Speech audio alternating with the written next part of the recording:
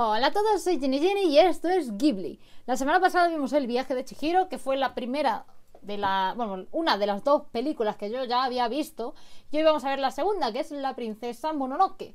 Eh, realmente no me acuerdo muy bien de la trama. Eh, sé que la protagonista es una chica que vive en el bosque o algo así. Que hay una loba gigante. y no sé qué pasa, que intentaban destruir el bosque o algo parecido, no me acuerdo muy bien. Solo sé que no, no me gustó. Sinceramente, no me gustó la película cuando la vi. Pero bueno, ahora que estoy un poco más acostumbrada a Ghibli, a ver qué tal se nos da la película. Así que sin más dilación, vamos allá. Hace mucho tiempo la tierra estaba cubierta de bosques, en los que vivían dioses ancestrales. Faltaba un cacho de frase.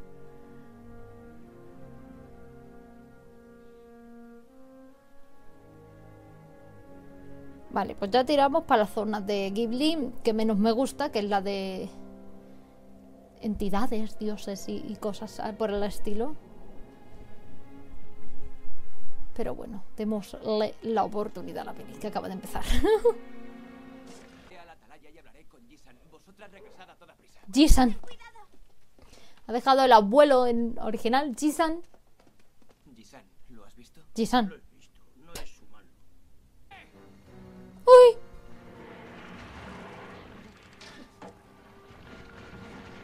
El bichito que se había quedado ahí acojonado. Hostia, la corta el brazo, tío. Qué salvaje. Joder. Joder. ¿Pero esos son... ¿Son flechas o son...? Hachas, porque vamos.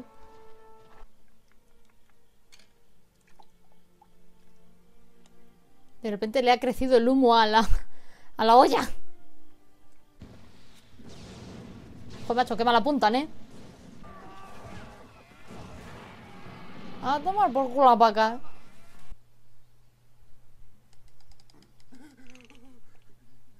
Joder, que yuyu. Ante que el bosque es- Manolo, nos hemos perdido. ¿Dónde estamos? bueno, no lo he dicho. Agua, check. ¡Se ha curado! ¡Sigue roto! Se ha curado. Sigue roto. de muerte. Tenían que haberte comido los lobos. Así podría buscarme un marido de verdad. What? ¡Qué cruel!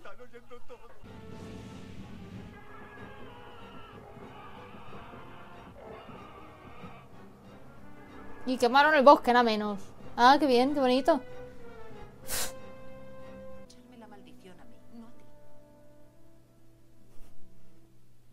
Me encantan en todas las películas Ghibli. Cuando alguien se enfada se le levantan los pelos.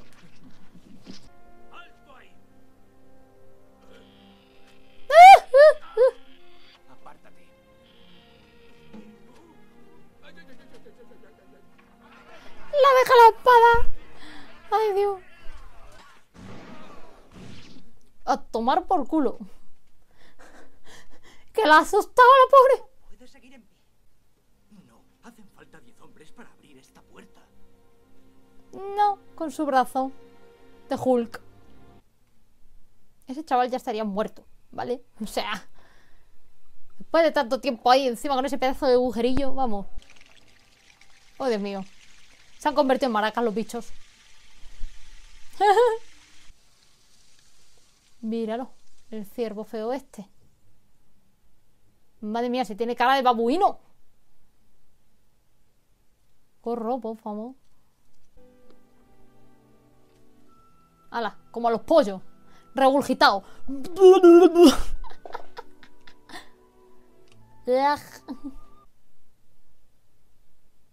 ¿Cómo llegas al agua si no llegas para beber? No tienes morro. ¿No puedes beber?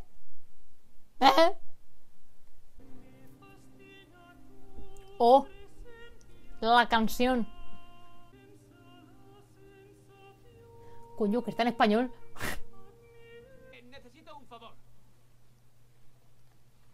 Entrégale esto a San de mi parte.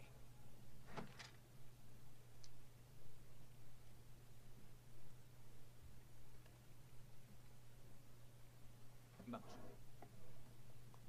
¿Le ha dado el recuerdo de la amiga? ¿Por qué? Nubes, check. ¡Yay! ¡Ay, pobrecito! ¿Qué es esto? A tomar por saco todo, tío. A chupar la vida del bosque. Claro.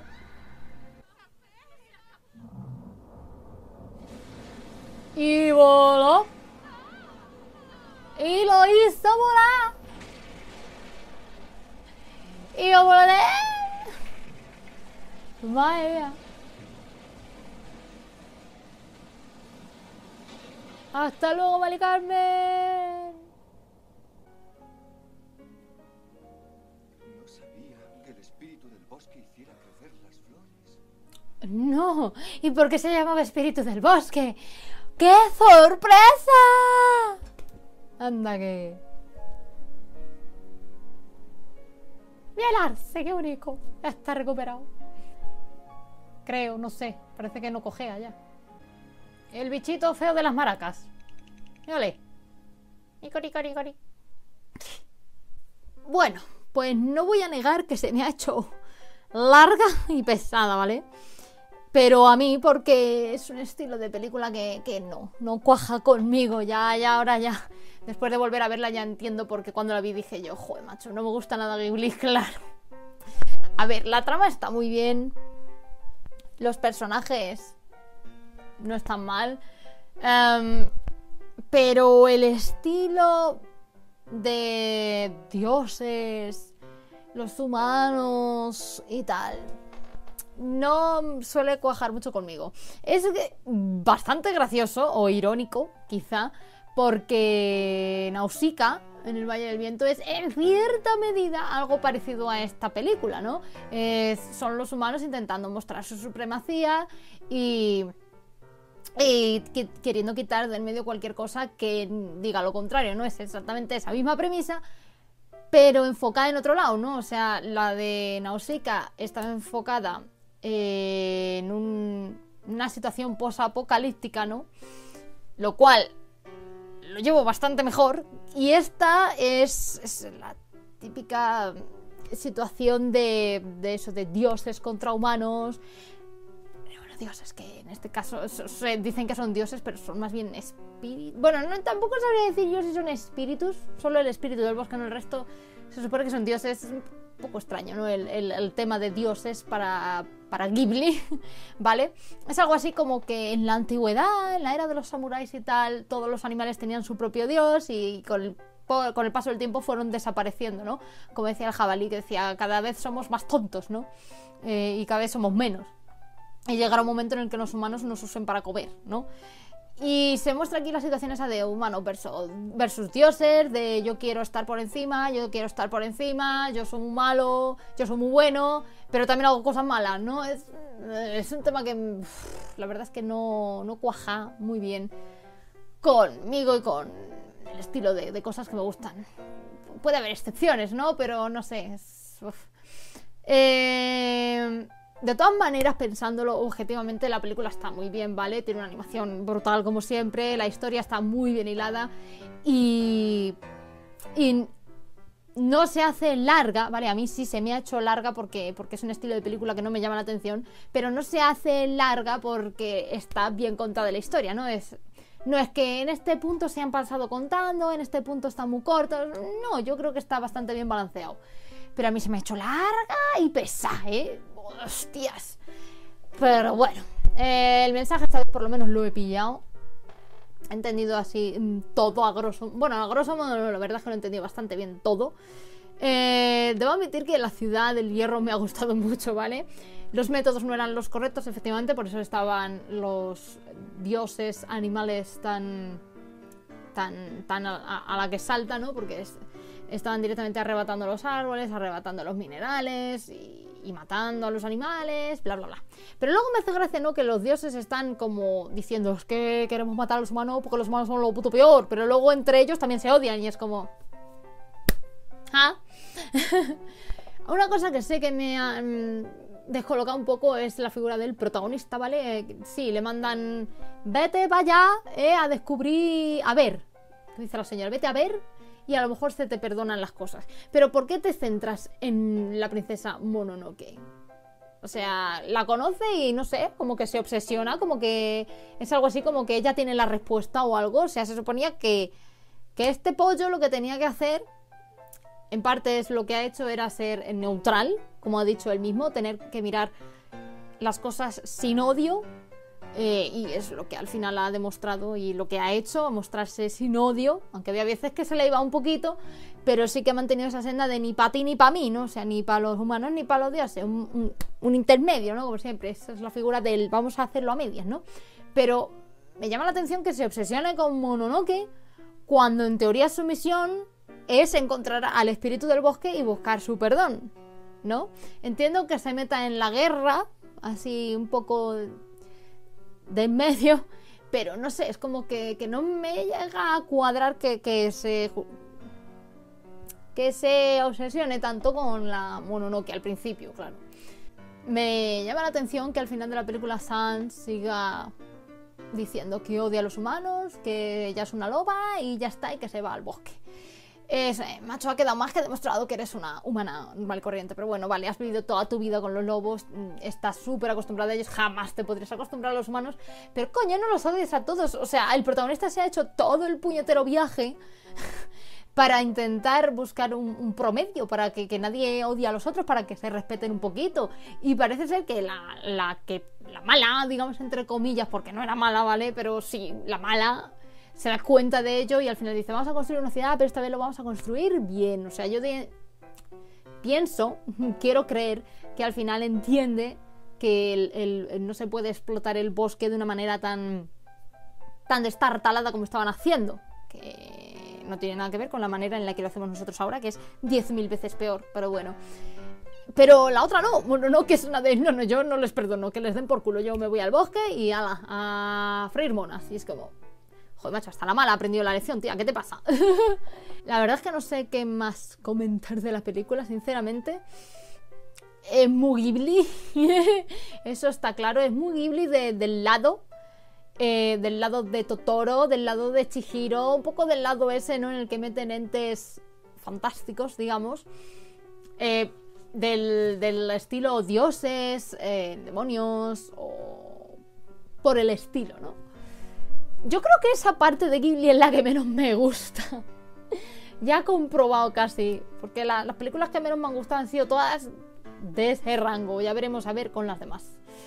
Y bueno, la semana que viene esto va a ser doloroso. La semana que viene vamos a ver la tumba de las luciérnagas.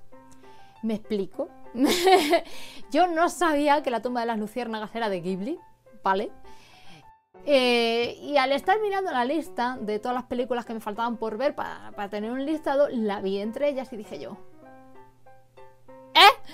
Porque yo no pretendía ver en mi vida, en mi vida pretendía ver La tumba de las luciérnagas porque todo el mundo dice que es una película que te destroza por dentro. Y digo, pues para que me destroce prefiero no verla, ¿no? Pero como es parte de Ghibli, ya comprobado 100%, pues me tengo que jorobar y ver La tumba de las luciérnagas. Y yo pensé, ¿qué hago? ¿La veo la semana que viene? O lo dejo para lo último. Y digo, pues mira, en vez de sufrir lo último, mejor me la quito de encima y la vamos a ver la semana que viene. Esta película se desvincula un poco de todas las demás porque no está ni escrita ni dirigida por, por, Hayao Miyazaki, como todas las que hemos visto hasta ahora. Todas estaban dirigidas y escritas por él. No sé si ambas, todas. eh, yo diría que sí, pero no estoy segura. También me di cuenta, así al cotillar toda la lista, de que Nausicaa en el Valle del Viento realmente no es Ghibli, porque es una película que salió un año antes de que se fundara el estudio, ¿no? Pero supongo, como salía el, simbolito de Ghibli, que al final eh, lo añadieron al catálogo como si fuera película de Ghibli. Así que, pues mira, nos hemos librado. Pero bueno, con La tumba de las luciérnagas no está ni escrita ni dirigida por Hayao Miyazaki, pero la vamos- es de Ghibli, así que la tenemos que ver igual. Y luego ya a partir de, la semana siguiente, ya es 1 de abril, ya entramos en abril, ya vuelven las películas, la- vamos, la- las películas que faltan y pues seguiremos con la misma mecánica de ver la- primero las más famosas y luego ya ir viendo todas las demás. Así que nada, gracias por haber visto el vídeo y nos vemos en el próximo. Bye bye. Suscríbete si aún no lo has hecho y no olvides darle a la campanita para que te avise de nuevas subidas. Aquí tienes otros vídeos que pueden interesarte y si te apetece, aquí tienes mis redes sociales. Nos vemos pronto.